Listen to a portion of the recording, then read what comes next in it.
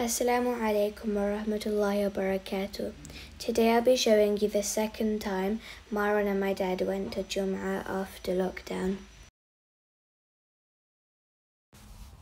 The Prophet ﷺ said that whoever reads Surah Al-Kahf on the night of Al-Jum'ah will have a light stretching between them and the ancient house. I will now recite the first ten ayahs of Surah Al-Kahf.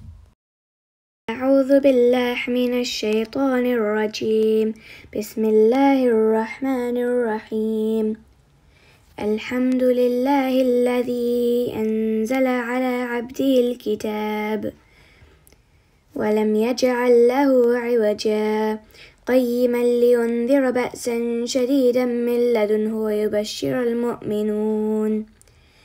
الذين يعملون الصالحات أن لهم أجرا حسنا ماكثين فيه أبدا. وينذر الذين قالوا اتخذ الله ولدا ما لهم به من علم ولا لآبائهم. كبرت كلمة تخرج من أفواههم إن يقولون إلا كذبا.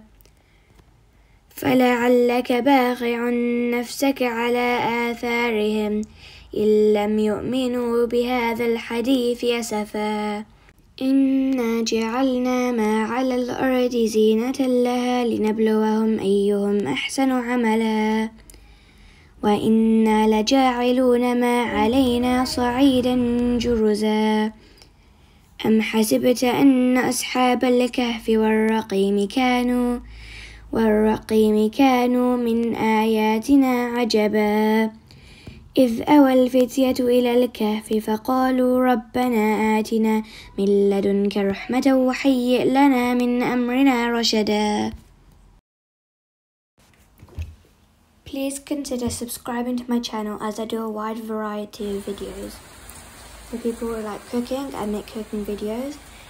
For people who like gardening, I show my mum's garden from time to time. To encourage people to read more Quran, me and my brother we read a surah or dua in every video. I work really hard editing these videos in between school and my madrasa, so please, please consider subscribing.